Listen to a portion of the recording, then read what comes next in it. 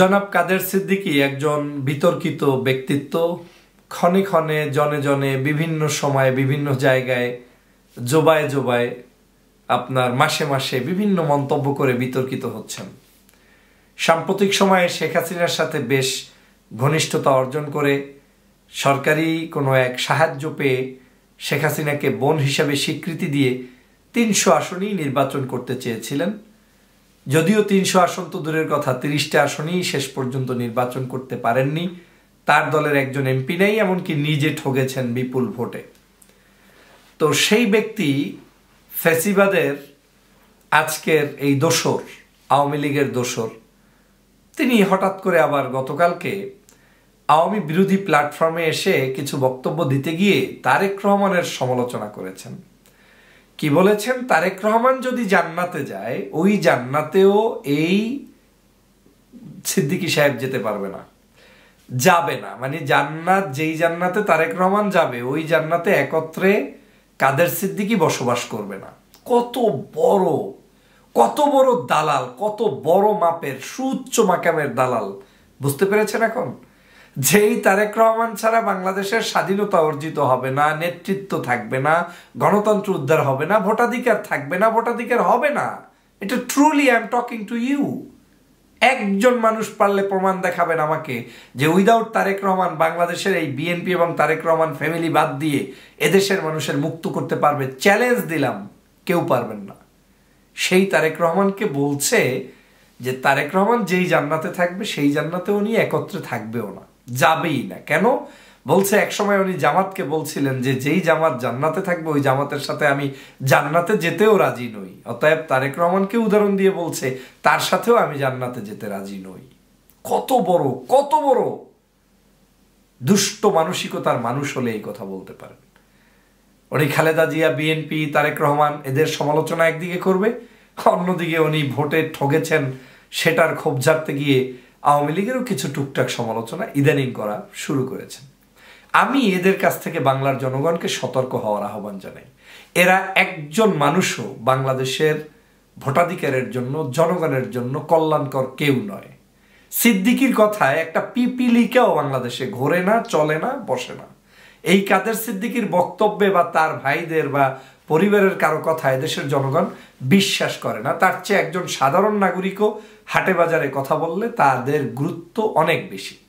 কারণ সবাই জানে যে এই কাদের সিদ্দিকিরা আসলে মূলত শেখ হাসিনাকে ক্ষমতায় রাখার জন্যই অবৈধভাবে বিভিন্ন উপায়ে টাকা পয়সা খেয়ে তারপরে এই নষ্ট নোংরা রাজনীতিতে মেতে উঠেছে। না হয় বয়োজ্যেষ্ঠ তারেক রহমান, খালেদা জিয়া যারা আজকে নেতৃত্ব দিবে, যারা আজকের বাংলাদেশের মানুষের মুক্তি করবে, সেই দেশ নেত্রী বেগম খালেদা জিয়ার সমালোচনা করবে, তারেক রহমান এখন পূর্ণাঙ্গ একজন জাতীয় নেতায় রূপান্তরিত হয়েছে, তাকে নিয়ে সমালোচনা করবেন। আপনি কাকে নিয়ে স্বপ্ন দেখেন বাংলাদেশের আপনার কথায় একজন মানুষ ওঠে, একজন মানুষ বসে। বাংলাদেশের যার নেতৃত্বের জন্য অধীর আগ্রহে বসে আছে সাধারণ কোটি জনতা। সেই মানুষটিকে আপনি বিতর্কিত করতে চান, তার সাথে জান্নাতেও যাবেন না। আপনাকে জান্নাতে যাইতে বলে কি? আপনি কোন জান্নাতে যাবেন না, কার ইসে যাবেন? It is up to you কিন্তু এই ভাষাগুলো ব্যবহার করে, আর কারাই বা কেনই বা তাকে আমাদের জায়গাগুলোতে ডেকে এনে শুধু শুধু প্ল্যাটফর্মগুলোকে ধ্বংস করে, আমি জানি না তাদের চিন্তা, চেতনা, আদর্শ আদৌ বাংলাদেশের গণতন্ত্রের মুক্তির জন্য আছে কিনা আমার সন্দেহ হচ্ছে। কারণ প্রথম প্রশ্ন, বাংলাদেশে যেই ব্যক্তিকে শুনবেন, তারেক রহমানের নেতৃত্বে দেশ চলবে না, খালদা জিয়া পরিবার দিয়ে হবে না, তখনই বুঝবেন সে ওষুধ খেয়েছে শেখ হাসিনার। যারা এই কথা বলবে, বুঝতে হবে শেখ হাসিনার ওষুধ খেয়েছে। এর ওষুধের মূল উদ্দেশ্যই হচ্ছে তারেক রহমান দিয়ে যদি না করানো যায় দেশের স্বাধীনতা সর্বত্ব এই সেন্টিমেন্ট যদি পাবলিকলি গ্রো করা যায় যে তারেক রহমান ইনভ্যালিড তাকে দিয়ে কিছুই হবে না, তাহলেই তো শেখ হাসিনার সুবিধা। হাজার বছর ক্ষমতায় বসে থাকবে, অন্যায়ভাবে এই দলটি চুরি করবে, ডাকাতি করবে, আর সে কারণেই এই মন মেজাজ তৈরিতে কিছু তৃতীয় পক্ষকে তিনি শেখ হাসিনা লাগিয়ে দিচ্ছেন টাকার বিনিময়ে। অতএব যারা প্রথম আমার কাছে এসে কোনো কারণে বলে যে দেশে অমুক করতে হবে, তমুক করতে হবে, তখনই আমি ধরে নিই যে উইদাউট তারেক রহমান যার প্ল্যান যার চুলকানি তারেক রহমানকে নিয়ে, তার উদ্দেশ্য হচ্ছে শেখ হাসিনার উদ্দেশ্যই বাস্তবায়ন করা।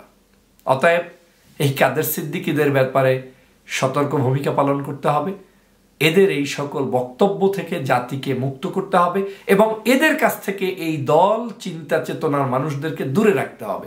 কারণ এরা সময় বুঝে যখনই বাংলাদেশের মানুষ গণতন্ত্রের বিজয় হবে, তখন কিন্তু আবার তারেক রহমানকে পাম্পট্টি দেওয়ার জন্য বসে থাকবে। তাদের নেতৃত্ব মানার জন্য এসে আবার ঢুকবে, ঢুকে ক্ষতি করে আমাদেরকে ক্ষমতা থেকে মুছে ফেলে দিবে। অতএব আসুন, কাদের সিদ্দিকিদের এই ভয়ানক সবল থেকে বাংলার মানুষকে রক্ষা করি। তাদের এই সকল নষ্ট রাজনীতির হাত থেকে বাংলার মানুষকে রক্ষা করে তারেক রহমানের নেতৃত্বে বাংলার মানুষকে এগিয়ে নিয়ে যাই। সবাই ভালো থাকবেন, সুস্থ থাকবেন। আল্লাহ হাফেজ। আসসালামু আলাইকুম আ রহমতুল্লাহ।